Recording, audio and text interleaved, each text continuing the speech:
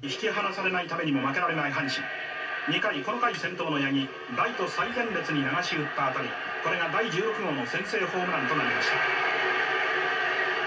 た。さらに阪神は3回中日守備陣の乱れで追加点のチャンスを迎えます。中日先発の小島はノーアウト2塁のこの局面でなんと一塁へ牽制球を投げてしまいボークとなってランナーは三塁へ進みます。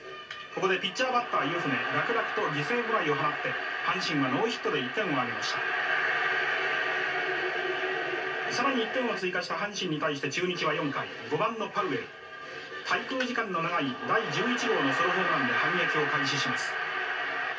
続く大砲は湯船のカーブを完璧に捉えてバックスクリーン左に飛び込む大きなホームランで1点差になりました。さらに1人置いて8番中村レフトへ第5号のホームラン。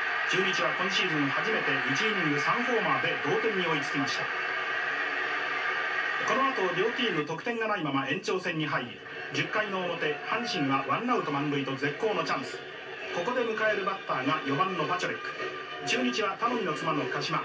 初球を叩いて2点タイムリー。このショックが尾を引いてこの後鹿島ワイルドピッチを2回も犯し阪神が決定的と思われる3点を挙げました。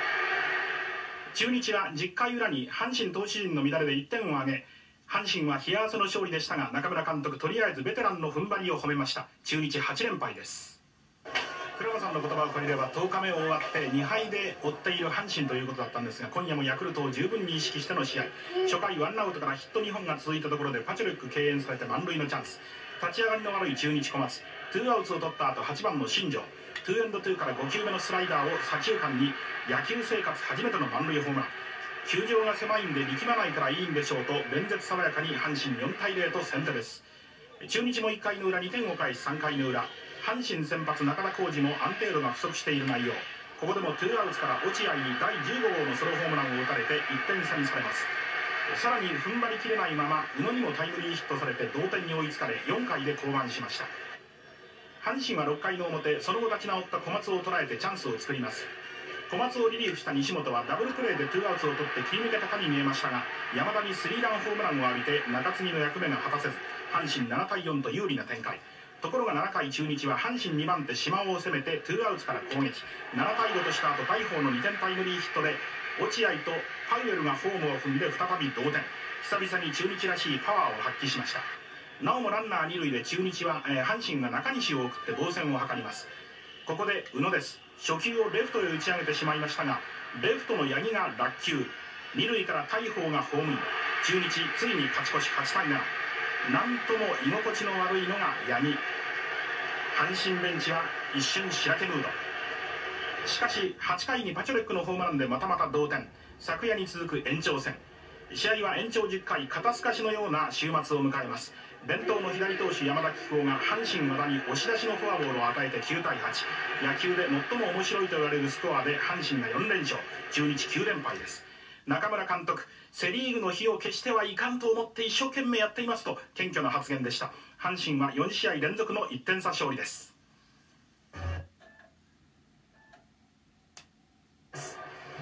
中4日の桑田の立ち上がりです。トップの亀山です。高いバウンドになります。川相取りますがこれは間に合います。一塁セーフ。タイガースは昨日ここで盗塁を見せたんですがここは送ってきました。ワンアウトランナーセカンド。ツーアウト後4番のパチョレックを迎えています。桑田ツーエンドワンと追い込んでいます。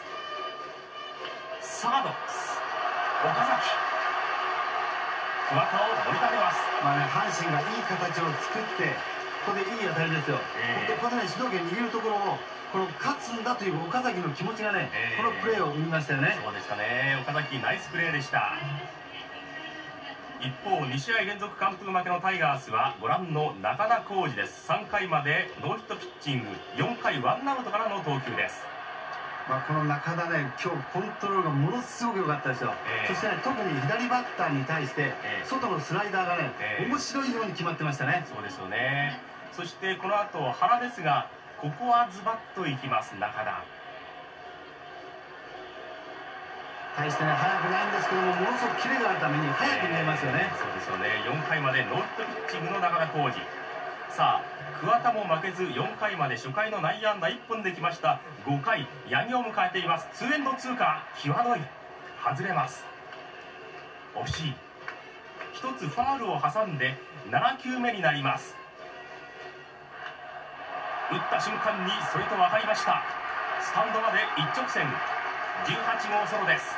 まあ、カウント2-3ということで変化球が甘くなるより力で押し切ろうとしたストレートですよ、えー、それがね裏目に出てしまいましたけどもね。タイガース1点先行です。追いますジャイアンツ。5回の裏。5番のモスビーがフォアボールで出塁。ノーアウトのランナーです。6番の岡崎がこの後バッターボックスに入ります、えー、ここはねいろんな作戦が考えられたと思うんですよね、えー、バントをするのか、エンドランをかけるのかまた引っ張るのかそれがねこうレフトフライに終わってしまうんですけども、えー、僕はねちょっとねもう少し考えた方が良かったかなというね気はしまししたんですけどもね、えー、ツーアウトになった後8番の吉原です。これがジャイアンツチーム初ヒット。送っておくばといえば結構ですが、えー、そうでしたね、えー、二塁一塁ツーアウトです。バッターボックスは桑田。初球打ち。ショート久慈セカンドコースアウトジャイアンツノーアウトのランナー行かせません。6回にアクシデント。中田の当たり桑田を襲います。右手のひらに打球が当たりました桑田。アクシデント。この後ベンチに戻って治療も続投になりました。さて6回の裏長野浩二ツーアウトを取ってから3番の駒田。渋いチーム2本目のヒット。そして4番の原です。一発が出れば逆転のシーンです。2-3期待はね高まりましたけども中田のうまいピッチングにかわされましたね。そうですね。ジャイアンツここも無得点です。試合は7回の表に移ります。オマリーです。ここまで不振です。ところが豪快。超豪快なドスンという一発まあ、ここまでオマリーが打てずにこれ3連敗してたんですよね、えーはい、それが今日打ったこのホームラン。今日のホームランじゃなくてこれからにねつながるホームランだと思いますね。24打席ぶりのヒットが豪快なホームランでした2対0ワンアウト後またまた八木なんです。甘いカードですけども、この桑田はね、中4日、連続中4日なんですよね、はい、こう疲労がピークに来てたのと、やっぱり中田のピッチングでね、こうあもうダメかなという気持ちでね、ちょっと限界を超えてましたね。限界を超えたという桑田、8回、またまたオマリーに行かれます。今度は左方向、そしてさらには新庄も豪快にフルスイング。このほかこの回にツーベース2本などで一挙4点です。7点をもらいました中田浩二完封目前です9回裏さあ原田行かれました。単独トップ23号明日はもう少し早い回に打ちたい原。さあ中田結局落ち着いてあの一発だけでした。130球完投お見事です。11勝目をマークしました中田浩二です。一方自己はその5本のホームランを浴びた桑田は11敗目。ゲーム後中村監督は選手が意地を見せてくれた。ジャイアンツ泣きたいほど辛い桑田で黒星。というわけで巨人の